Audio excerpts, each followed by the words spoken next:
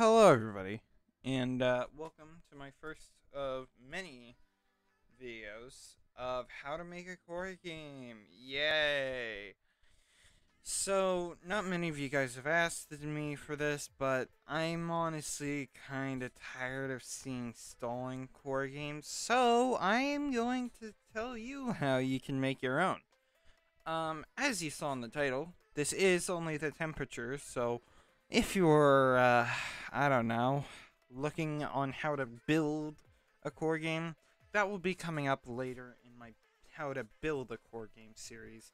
But that also will have a little bit more bias because it will only be my building style and not yours. So I wouldn't recommend following it, but if you wanted to, you can. Anyways, I'm going to be showing you two different ways to make a temperature system in this in Roblox. So, the first way you can make a temperature system is actually pretty simple.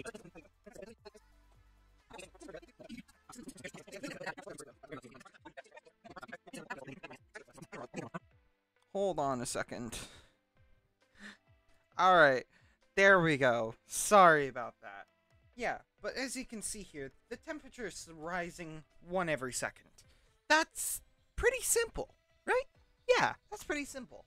And it's honestly five lines of code.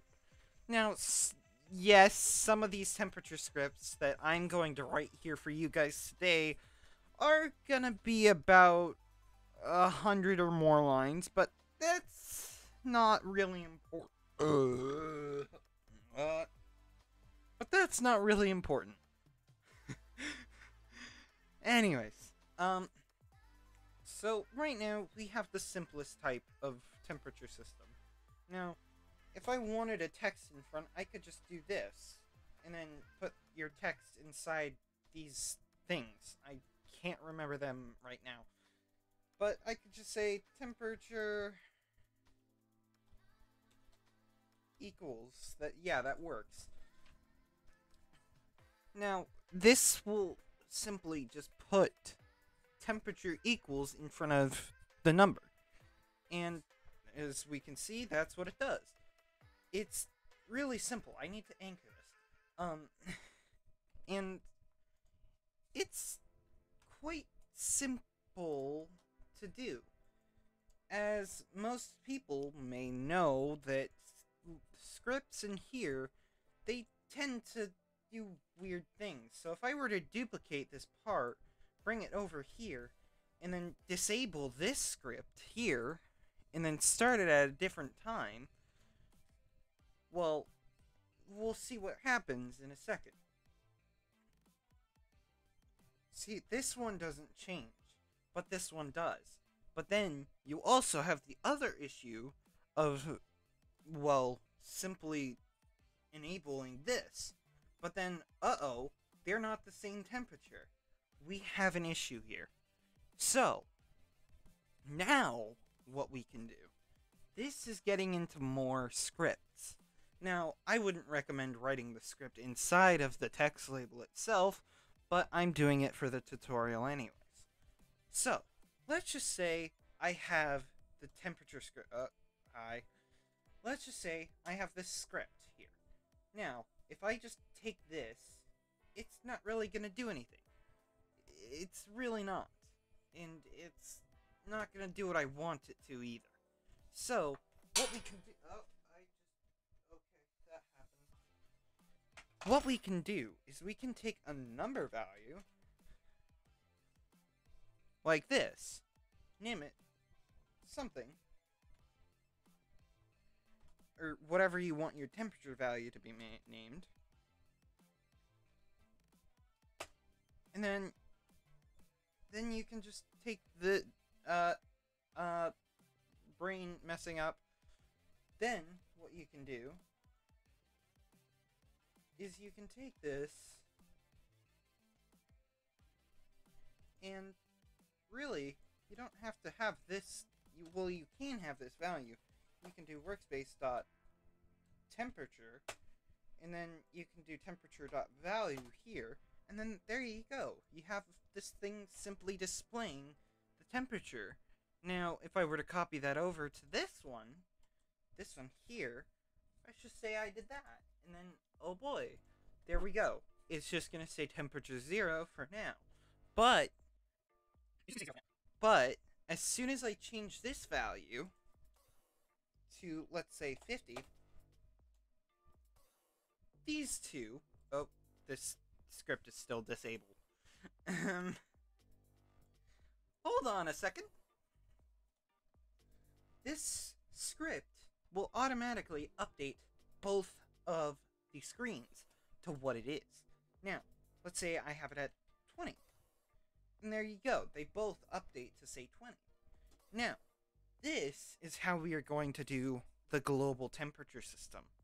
Now, once we have this, we easily can make the core or temperature system really work.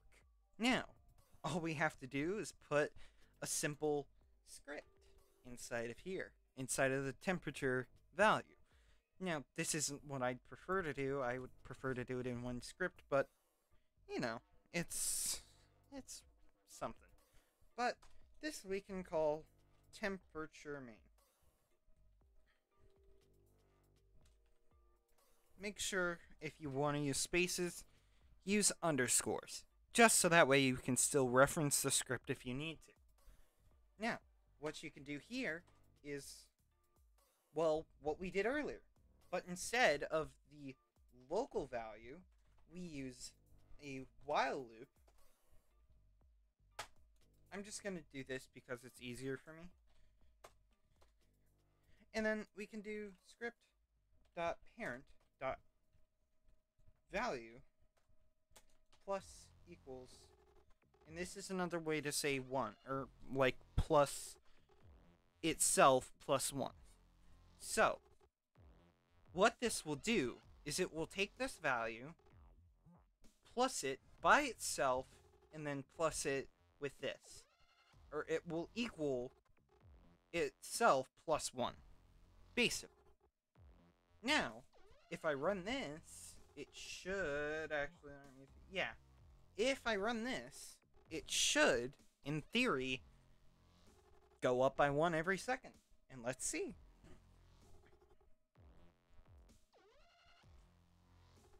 And there we go. We have a temperature system that goes up every second. Now, uh, you might be saying, but glitch. I want to have it customizable. I want to have it so that way the players can control it. And that is perfectly fine. And I understand that. And that's 100% reasonable. And, well, there's multiple ways of going about doing this. Because right now, we are in our simplest form, which is literally just a while loop. And it can get simpler than that, but it also shouldn't get simpler than that as well. Because sometimes when it's simpler, it's just a little bit weirder. But, for the sake of this, we're just going to do that. So, what we're going to do is inside the temperature script, we're going to have a little table. Or let's just say, let's just call it the acronym of um, laser power per power. LPPP. Yeah, that, that works. And then we can just do this. Just write a bunch of numbers in here on how much progression you want it to have depending on the laser power. So, once you have that, you can do a simple this. This will reference what laser power it's really on. But we don't really have the laser power yet, so let's get that real quick. Let's make a number value and call it laser power. There we go. Now, if we take the laser power value and stuff it inside of here, Then we have that. Make sure to set this to 1 or it will reference it will reference 0, the index of LPPP number 0, which does not exist. So, let's test this out at first. Or, let's test this out.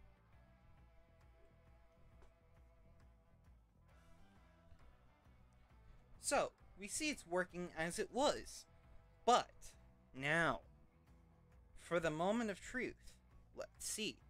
If I switch this to 2, in, in theory, it should go up by 2. And there you go. It jumped from 19 to 21. And it's going up by 2. Now, let's say I want it at 4. There we go. Now it's going up by 8 every second, as we intended it to. Now, this is a temperature script we can get behind. Now, all you have to do, once you're at this point, is create your buttons, which really isn't too hard. If you really wanted to, it could literally just be a brick, and for this, for the entertainment of you, I'm just going to make it a brick for right now, because, well, that's really all I have time for. so, enjoy this quick time lapse, time lapse of me making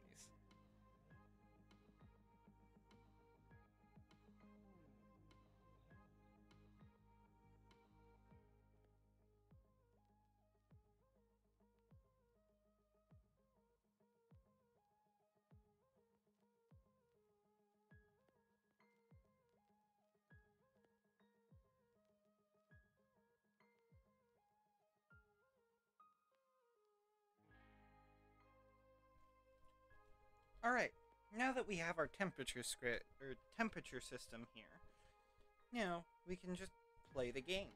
And well, it should work like a regular temperature system.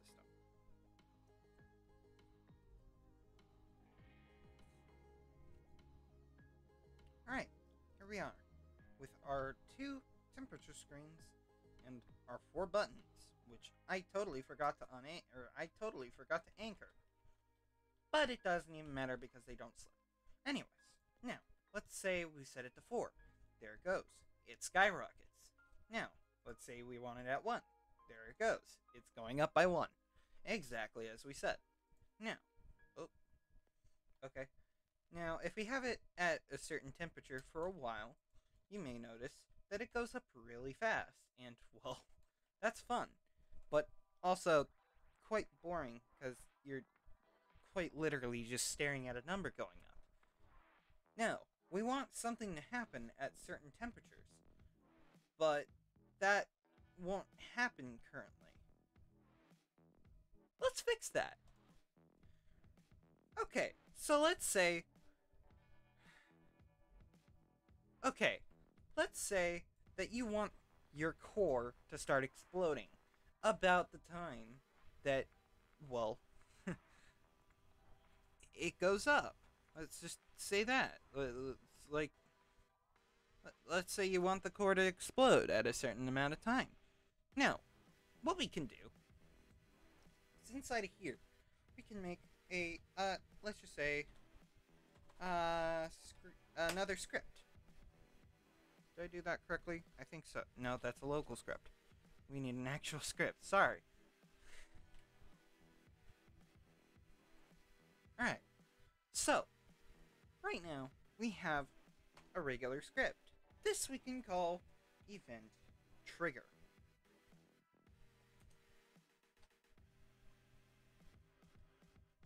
Okay. Alright. Now, now that we have this, first off, let me explain what an event trigger actually is and why it's used in a lot of core games. It's literally the thing that triggers a meltdown, or a freeze down, or whatever event requires the temperature to be at a certain amount. Now, this is not very hard to do, and in quite honesty, it's really it's extremely simple. Now, you could let's just say you have a beacon. Uh, just give me a second. I'm gonna make one.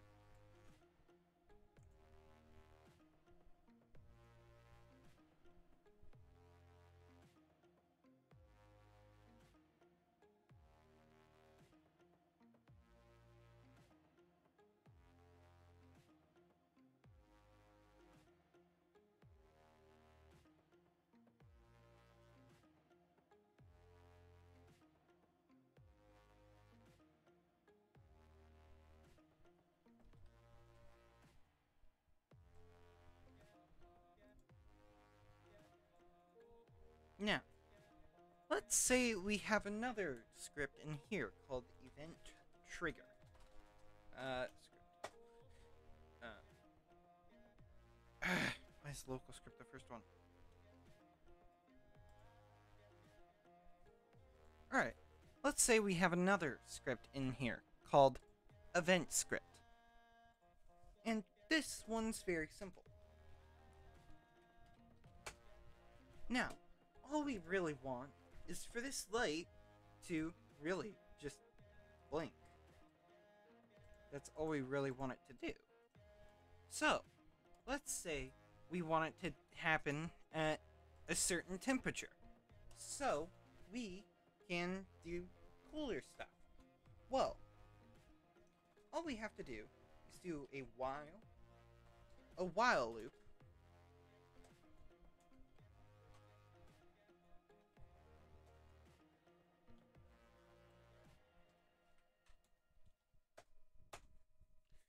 And then we have to reference the temperature and then make sure it's above a certain level. Let's just say for now, uh, 500. And I forgot to put an if here. So, there we go. We have our simple script. This won't do anything to the actual thing at the moment. Right now it's just checking if the temperature is above. So, let's make this work.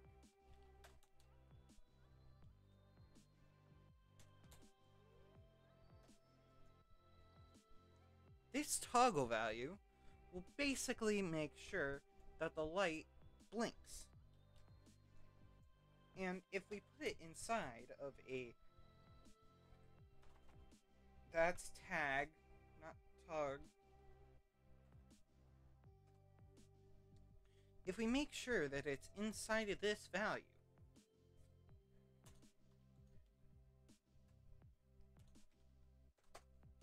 we can set it to what it isn't by saying toggle is equal to not toggle. And basically, this is saying because this is a bool value, it is not equal to toggle. And what is the opposite of toggle? At the moment, it is true. But when it's false, it is true, and when it's true, it is false. This will cycle through. Now,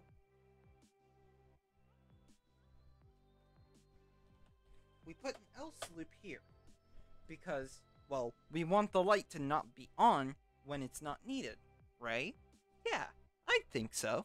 So, we can do script dot parent dot enabled equals false.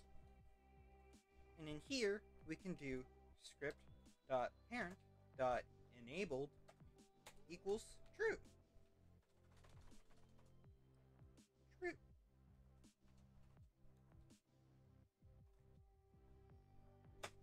Sorry, my typing skills at the moment is amazing. I know. And if we want it to turn off, we could do script.parent.enabled equals false. Now, it it can be done script.parent.enabled equals toggle, but where's the fun in that? With this one, we are also allowed to use script dot parent dot parent, which would be the part. Dot color equals color three dot new, or from RGB if you are really like if you really like RGB values, which I do. So I'm gonna keep it at this. So now what we can do is we can do this. And this is our finished alarm. Now, we see if we run the game that it will, in fact, not be blinking at first. It probably will start rolling away though, because I'm stupid and forgot to anchor it. Oh, it actually didn't roll away. I'm surprised. Now, let's wait for the temperature to become 500. What am I kidding? I can just change the value. That's not what I was doing. That, yeah, and see, now it is blinking. But the temperature is also at 600,000, so I don't know if it actually worked. Let's just say, uh, this never happened, eh? Ah, yes, that's not gonna work. No, come on. Okay, there we go. Now, we know that it turns off. But that also doesn't look right. But that's not what we're here for either way. This was an event trigger script. This event happened when the core temperature became more than 500. As we can see in a second, once the core reaches 500 degrees, in whatever you want it to be, just not Celsius, because that's not that's not right. Not right at all. Once the core hits 500 degrees in whatever temperature form you're using, the light will start blinking. And this is how most little alarms, those ones that sit on the desk and beep at you annoyingly, are made. All they do is check if the temp is above or below where it is supposed to be. Now, you see that, well, it is going where it's supposed to. Now, currently, at the moment, there's no way to make the core temperature go down. Now, this is a pretty simple fix. All we have to do is go into the temperature main and, well, add another thing. Local cooling power and well uh hold on. Cooling power per tick. I'm just gonna also name this LT LPPT so that way it's easier for you to understand. And I'm also going to label this. For tick. And I would also advise you strongly, if you are a new developer, I would say label your stuff.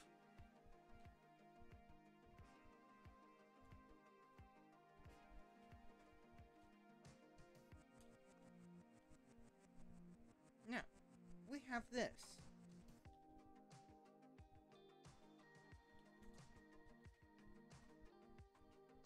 Now, we have this. This is simple. This is honestly really simple. Now, all we have to do is this same exact thing, but subtracting it. So, script.parent, that is eh, that is not what I was doing. Dot parent dot value minus equals, which basically does the same thing as this, but subtracts it. And C PPT coolant pump uh coolant pump power tick, I guess.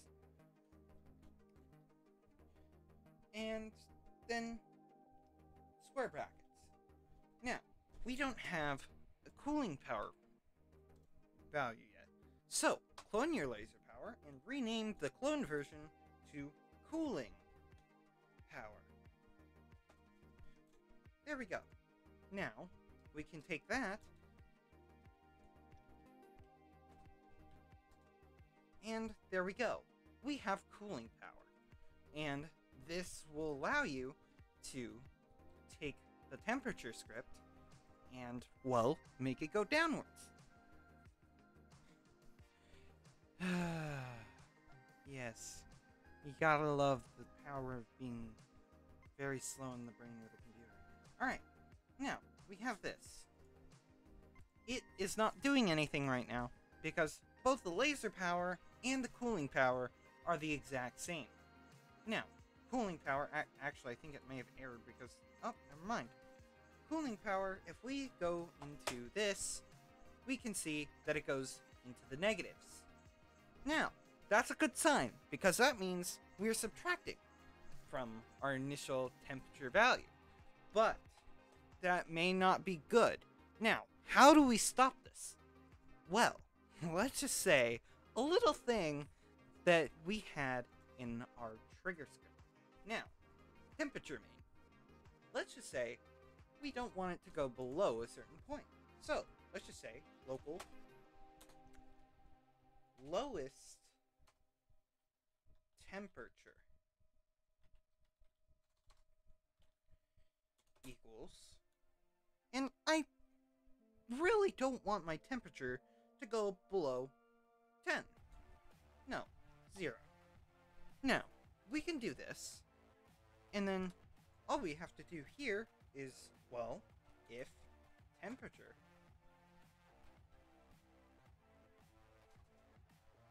script dot parent dot value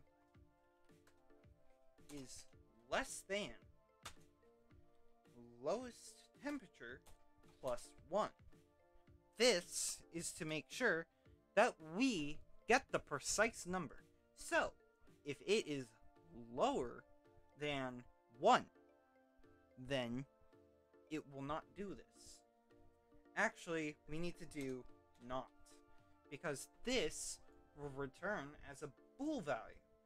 And the bool value is good. And they allow us to do not. Now, you may not have a temperature that actually allows you to go below zero degrees. Now, this is good. This is absolutely fine. Now, we can set the temperature to, well, we can set the temperature to, or the cooling power to 4, and it will do absolutely nothing. It will go down, but it won't go down at the same time. Because it is subtracting it every time. Now, if we put this to 4, this will go up by 4 every second. Or at least it should. And I messed up. Boolean equals number. That is not correct. What did I do wrong? I have no idea. Oh. I did something wrong here. I'm going to use a tilde or at least attempt to. I don't know if this is actually how it's done. I think it is. No. Okay.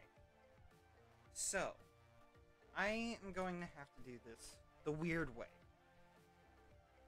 It's literally just putting an else here.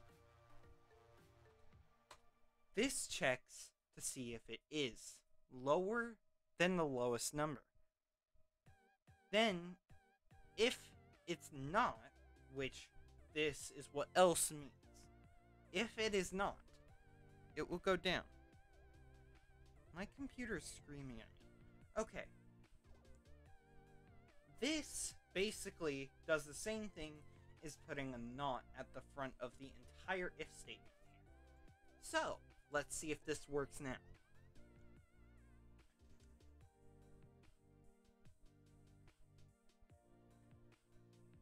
There's no error this time, which is a good sign. Now, we can take the temperature and take the cooling power, and we can set this to 4. And it will not go below zero. Regardless, it is going below zero. But it does not trigger and it does not go down more if it is below zero already, which may be a slight issue, but hey, it's working in a way. Now, if we set this to 1, nothing happens, well, because our laser power and our cooling power are the exact same.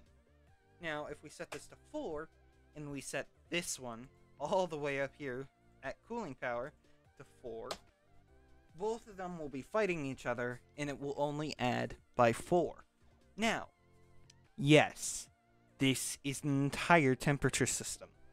This temperature system is as simple as it gets for an entire game. Now, this is the exact same temperature system I used in Computer Science Facility 1.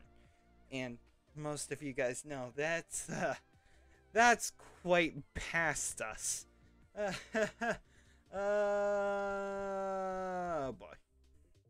So, what we can do now is actually really simple. To get rid of all the scripts, all we have to do is take all the scripts we've written here and then put them in one script. But we also still don't have a startup trigger. Or, uh, not a startup trigger, a, a meltdown trigger. So, let's uh, clone a script and just put this script in here. Now, we have a meltdown. That is not how you spell meltdown.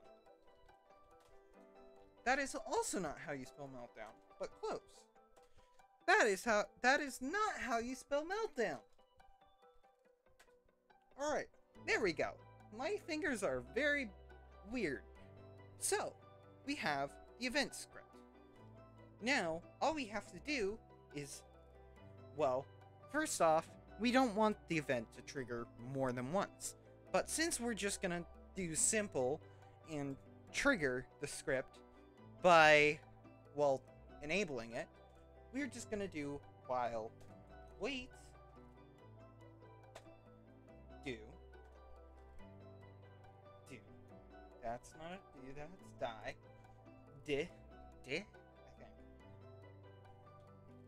Now we have this which is just a while loop at the moment but it's going to get better. I don't know what I'm saying. Anyways if you are using a bindable event, which is normally how I do stuff. You may notice that if you fire it more than once, it happens more than once. So, we want to fix that. And, well, you can do local event equals false, and that will only happen once. Now, we now can do workspace if temperature workspace uh, script parent value is more than let's say two no one thousand. Then event or if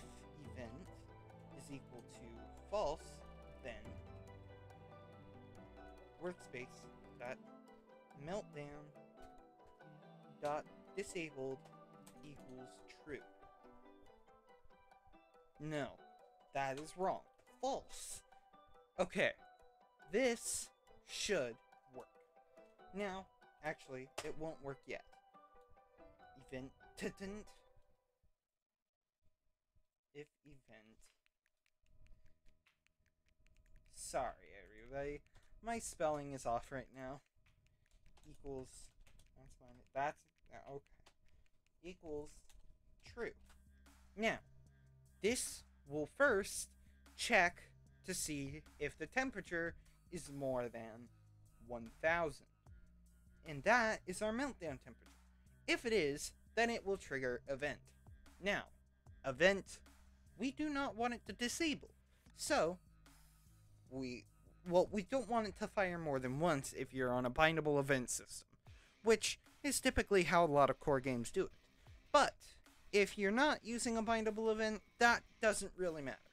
So, now we just disable or undisable the script. Now, if we put this in Meltdown, we can just do print Meltdown. And then all we have to do is run the game and wait, I guess. So, let's do that. Oh, yeah, that's right. Once again, don't forget, you can change this to 4. And also, change the temperature to, oh, I don't know, 100. That's way more. But now, if we check our thing, we can see that it said meltdown. Now, it didn't say that before, but we did see that the meltdown script did start. Now, let's let's uh not do this incorrectly this time so we can actually see it disable or enable the script because that was kind of just fast and i don't know why it adds on to that but let's say the temperature is i don't know 7 oh, 450 now we have the temperature at 450 we can set this to 4 and there we go. It is off. And now we wait. The beacon is going off